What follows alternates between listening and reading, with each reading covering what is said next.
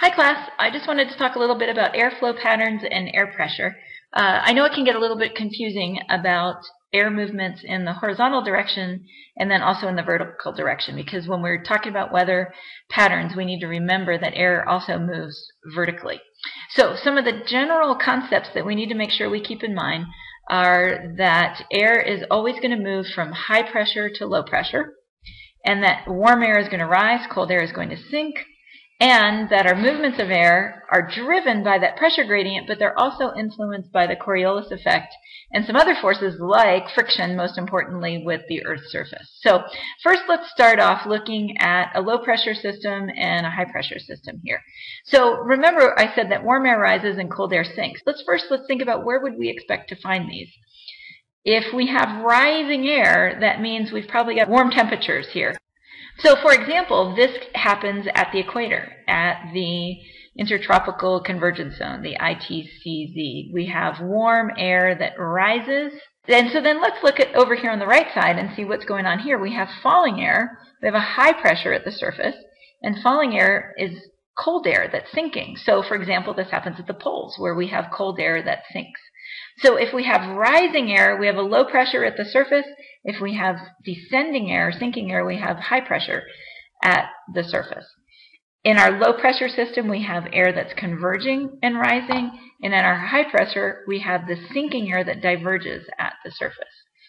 So our low pressure system at the surface with surface convergence, rising air, then we have divergence aloft. So what happens is that rising air is going to pile up at the surface, and it actually creates a high pressure system up here.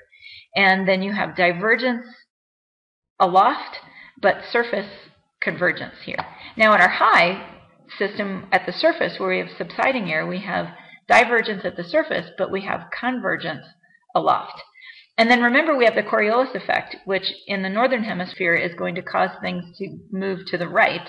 It, it's going to cause air to curve to the right as it's moving. Our low pressure at the surface flows counterclockwise, and our high pressure at the surface flows clockwise. And that's in the northern hemisphere. If we were in the southern hemisphere, these rotational patterns would be opposite. So our low pressure counterclockwise flow in the northern hemisphere is what we call cyclonic flow. Our high pressure clockwise flow at the surface is what we call anticyclonic flow. So let's look at some air pressure changes and how that affects winds and pressure patterns. So this example is uh, the sea breeze example. So we have the ocean here and the land here, and we have the air pressure decreasing as we go up in elevation. And we have the same temperature over the ocean as over the land, so our, our pressure isobars are flat right now. But once the sun rises and heats the land up more quickly than the ocean, remember the specific heat of water means that it's going to take longer to change the temperature of the ocean. It takes a lot more heat energy to change the temperature of the ocean. So the land heats up faster. Warm air is less dense, so that air expands. And what happens is those isobars spread out.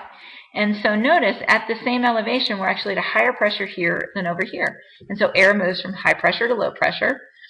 And as the warm air expands, we have a high pressure system aloft that pushes the air to the low pressure system aloft over the ocean.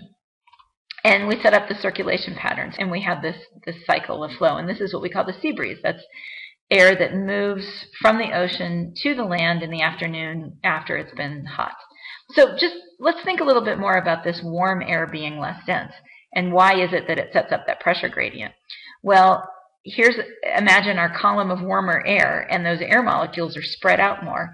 And so the point at which we're at, say 500 millibars, is higher in elevation than it is if in a column of colder air.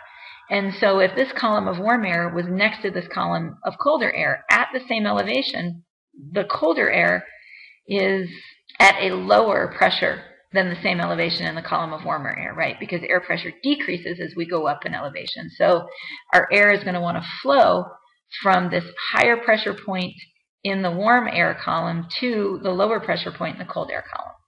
At the surface, you might be experiencing lower pressure as that air is rising in that warm air column. Another way to think about it in this example, we've got the same elevation in a warm air column and in a cold air column. And you can think of it as in this cold air column, there's actually less air above you because that air is, it's more dense and so it's squished. It's squished down closer to the, to the Earth's surface. And in this warm air column, it's more spread out. And so at the same elevation, there's more air above you and so therefore more pressure. And so therefore aloft, you have a high higher pressure, and here in the cold air column aloft you have a low air pressure. So back to our sea breeze example, here's the, the cycle that we've set up, the, the cycle that we've set up, so here's our warm air at higher pressure. In this example, we're more than 996 millibars. At the same elevation in the colder air, we're less than 992 millibars. So that air is going to move from high pressure to low pressure. And here now it's colder, so it's going to sink and movement of air from high pressure to low pressure. And then at night, now the sea is warmer because it takes longer for the water to cool off. The air over the sea is warmer than the air over the land. And so that air is going to rise. We're going to have a high pressure here. The air is going to get pushed from high to low. It's going to cool and sink. And now we have a high pressure pushing the air to the low pressure area here.